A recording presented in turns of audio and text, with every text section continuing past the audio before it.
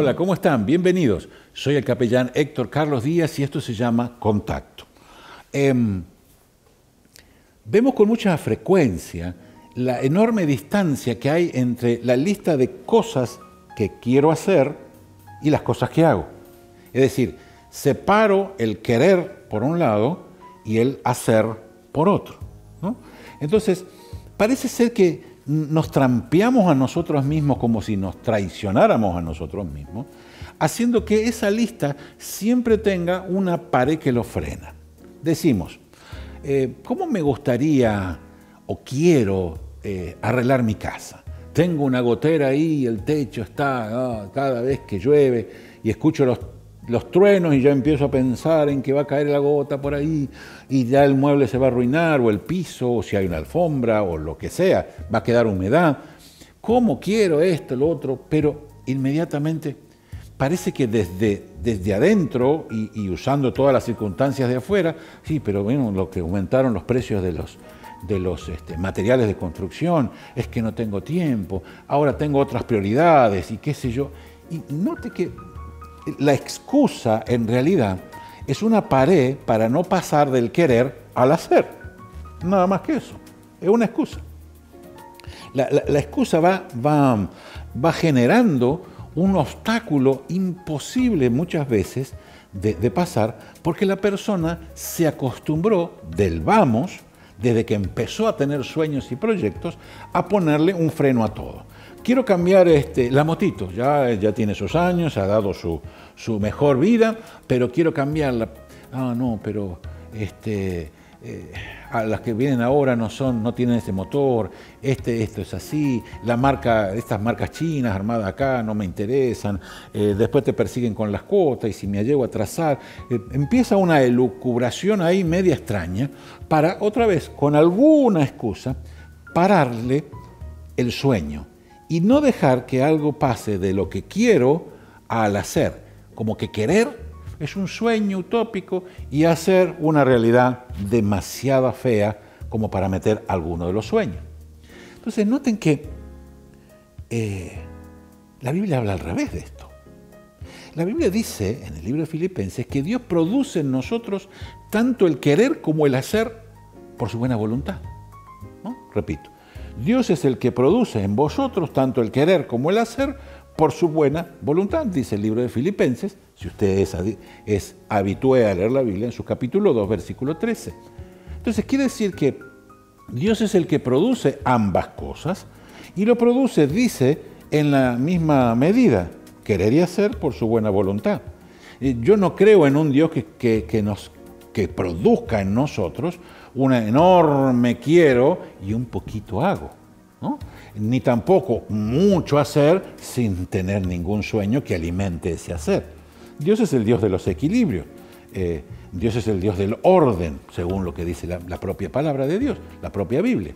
Y en la práctica hemos visto enorme cantidad de veces que todas las veces que nosotros se enciende un algo por por hacer algo, se produce ese hacer porque junto con ese querer parece que vienen las llaves que abren las puertas a los recursos, a las ganas, al tiempo, a, exactamente todo eso que se necesita para poder transformar algo desde esa caja de lo que quiero a la caja de lo que hago.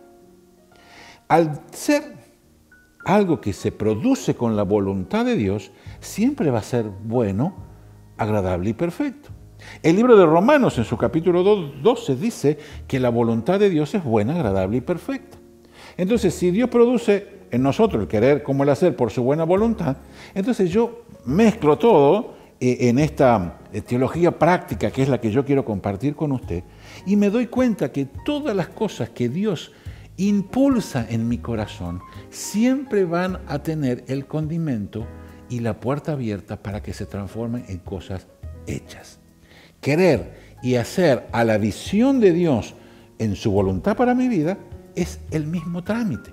Entonces, de una manera muy interesante, Dios me va haciendo crecer cuando voy comprobando su buena voluntad, porque siempre que quiero algo, siempre lo hago. Entonces, ¿qué es lo que ocurre?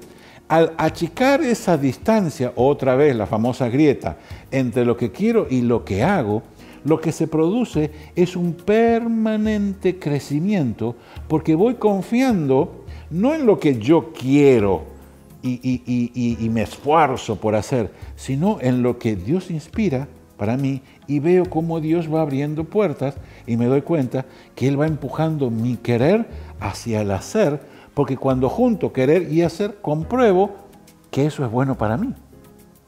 ¿Se entiende lo que quiero decir?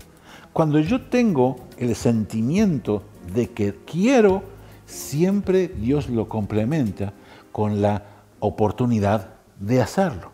Porque si no sería un Dios demasiado perverso. Imagínese usted que Él nos dijera, voy a llenar tu corazón de cosas que quieras, pero nunca voy a abrir la puerta para que lo puedas hacer. Nunca te voy a dar eh, la llave para que abras el, el camino, para que desarrolles eso que tenés puesto. Como segundo tema, si Dios pone el querer como el hacer, quiere decir que Él considera que eso que influye en nosotros, que inspira, en términos de la Biblia, nosotros tenemos la capacidad de hacerlo. Si no, tampoco sería justo que Dios me diera a mí un deseo que fuese imposible de cumplir. ¿Se entiende? Sería un Dios hasta, hasta cruel. Ah, y se ríe desde el cielo diciendo te voy a poner un montón de cosas que jamás vas a poder cumplir. Nunca vas a hacer esos deseos. Eso se parece más a la imagen de un diablo que a la imagen del Dios bondadoso que, que yo tengo a través de lo que dice la palabra. Entonces, fíjense qué interesante. Dios junta el querer como el hacer en el mismo plano.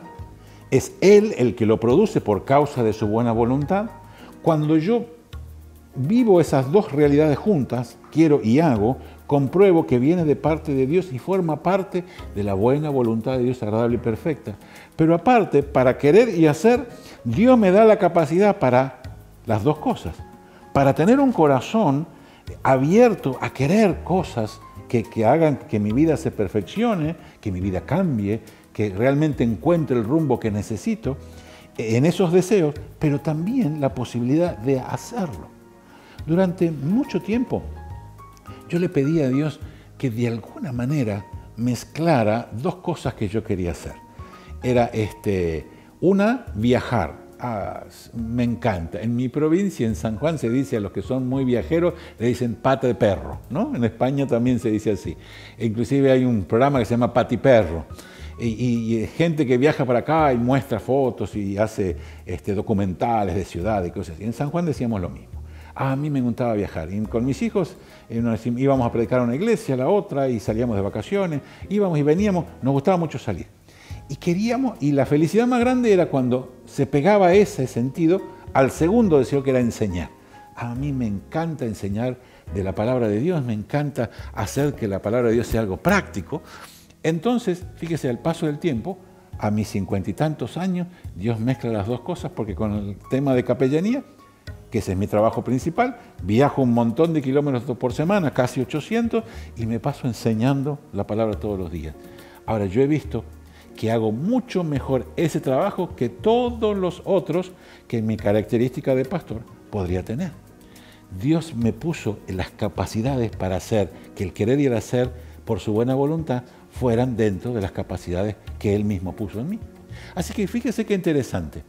Anote y revise cuántos querer usted mismo está levantando la pared para que no pasen nunca del querer hacia el hacer. Fíjense cuántas cosas hemos dejado en el, en el camino por una cuestión de excusas. Porque la Biblia dice, y usted lo va a comprobar, que Dios produce en nosotros el querer como el hacer por su buena voluntad. Si yo doy vuelta al versículo, digo, la buena voluntad de Dios ha puesto en vos un deseo tan fuerte de hacer cosas y tiene el manojo de llaves listo para abrir todas las puertas para que ninguna de esas cosas inspiradas por Dios se quede en tu vida como un deseo que nunca se cumplió. Revise el cajón de los deseos. Es muy posible que estén las llaves que abren todas las puertas para todo lo que usted puede hacer en su vida en favor de suyo y de su familia. Dios le bendiga. Lo espero la próxima. Soy el capellán Héctor Carlos Díaz y le agradezco mucho compartir este tiempo.